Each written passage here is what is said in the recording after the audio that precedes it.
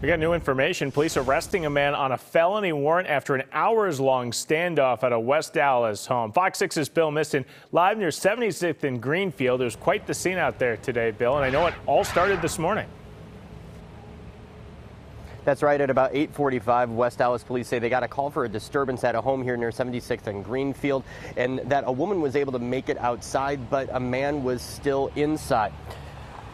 And if you take a look at this video that should be rolling right now, you could hear police trying to make contact with the man inside that home uh, this morning. Uh, an armored vehicle was brought in as police talked to the man who was in the second floor of a building uh, in the rear of the property. Traffic continued to move uh, past as a crowd gathered along Greenfield Avenue, including family of the man inside. After several hours and talking to negotiators as well as the man's family, he came out of the home at around 12:30 this afternoon and was taken into custody without incident. The man's brother saying it's a relief no one was hurt and that everyone is safe.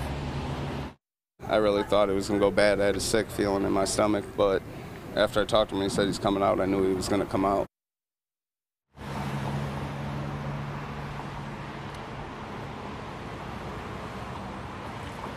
Now, West Allis police say charges will be referred to the district attorney's office in the coming days. The man was arrested on a felony warrant. Reporting live in West Allis, Bill Miston, Fox 6 News.